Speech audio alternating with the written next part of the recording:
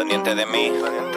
Yo tengo todo el mundo pendiente de mí, pero como así, pero como así. Gente, ¿cómo están? El día de hoy quiero recomendar al cubano llamado Morejón, quien nos presenta su más reciente material titulado Pendiente de mí. Este tema es un drill con unas barras muy pesadas destacando en este género. Les dejaré el link del tema aquí en descripción para que pasen a chequearlo. Y si dejan un comentario diciendo que van de parte mía, podrán aparecer en mi próximo video, así como la gente ahora mismo está apareciendo en pantalla. Yo miro sus vídeos solo para el relajo, me salgo del ritmo, ya vuelvo y le encajo. Metido en el agua hasta el cuello trabajo, si no aportas nada, vete pa'l carajo.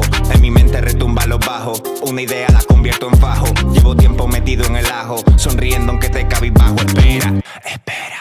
Ahora sí comenzamos con el video del día de hoy y lo primero que quiero hacer es pedir su opinión sobre la más reciente Bizarrap Session interpretada por el jefe de Cumbia 420, Elegante. Arrancó el toque rock mientras fuma en el baile la rompe. Es increíble que Bizarrap tenga esa oportunidad de trabajar con músicos de todo tipo de géneros, logrando crear un material de alta calidad que resulta atractivo para todo tipo de público. Bizarrap no falla ninguna y todo lo que toca lo convierte en oro. Es así y por esto logró convertirse en el productor argentino más escuchado a nivel mundial y en el 2020 se consolidó como el artista argentino más escuchado en el mundo dentro de la plataforma de Spotify. Y aunque actualmente una artista acaba de robarle ese puesto consiguiendo más de 12 millones 200 mil oyentes mensuales posicionándose en el número 344 del ranking de artistas más escuchados en el mundo. Esta artista es Rosarina y lleva por nombre Nicky Nicole.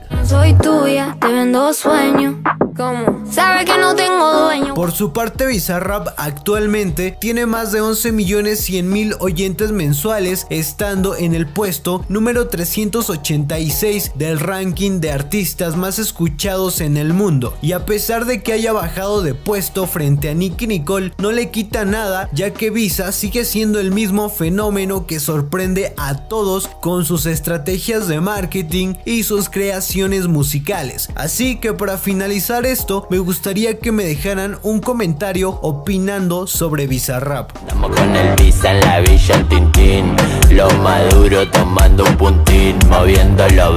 Elegante, el actual referente del género Cumbia 420, interpretó la más reciente sesión a cargo de Bizarrap y aunque muchos lo aman, hay gente que aún se niega a seguir y escuchar su material, debido a una razón muy en específica. Tal vez ustedes no lo saben o tal vez sí, pero Elegante está siendo manejado por Maxi el Brother, una de las figuras que ha logrado un buen trabajo desde mucho tiempo atrás dentro del género. Pero ¿qué tiene que ver Maxi el Brother con Elegante para que este sea odiado por una parte de gente? La sencilla razón de esto es que Maxi tiene relación con Yao Cabrera, una de las figuras más repudiadas en todo el mundo debido a ciertas polémicas que se han generado. Así que a consecuencia de que Maxi tenga buena relación con Yao, Elegante se ha juntado un par de veces con este y la gente ha dejado críticas frente a esto.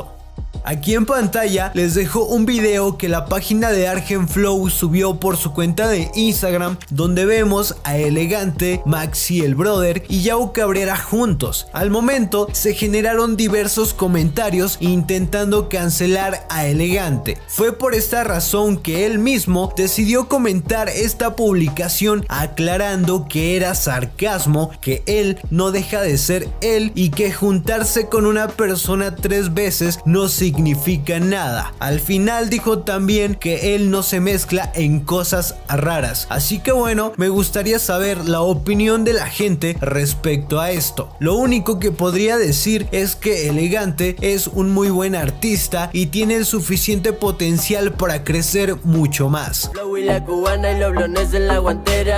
la verdadera, viajando a 280, soy palma en la carrera. Así que bueno, esto sería todo por el video de hoy. Espero que les haya gustado. Me gustaría que dejen su me gusta y que pasaran a ver el video que subí ayer, ya que mucha gente no lo vio. Comenten el tema recomendado, tomen agua y nos vemos en el próximo video. Chao. Hace mucho tiempo que soñaba para fuera y una vez que estuve fuera vi la calle con la cera Busqué a alguien que invirtiera y como nadie lo invertía Lo saqué de mi cartera, si supiera me salieron las ojeras Preocupado en me pusieron la pulsera Me pasé comisaría un par de días sin pechera Pero verá, yo lo hago por gusto, digo sin genera. Pero hablan de mí, claro, ya les